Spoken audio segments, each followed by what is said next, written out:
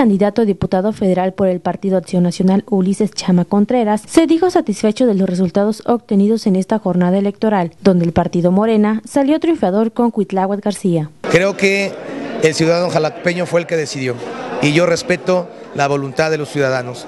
Creo que como eh, un buen demócrata tenemos que respetar esa decisión y así le estamos avalando.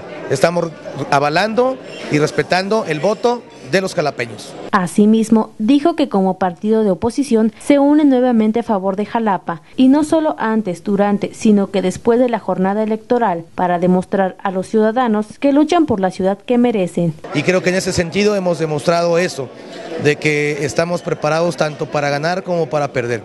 Creo que aquí, más allá de que haya ganado un partido, ganó Jalapa, ganó la democracia y ganó la ciudadanía. A ser cuestionado sobre si irán en coalición en las próximas elecciones para elegir gobernador, explicó que es una decisión que tendrá que tomar la directiva, pero consideró que no será necesario, pues se consideran un partido capaz de lograr el triunfo solos.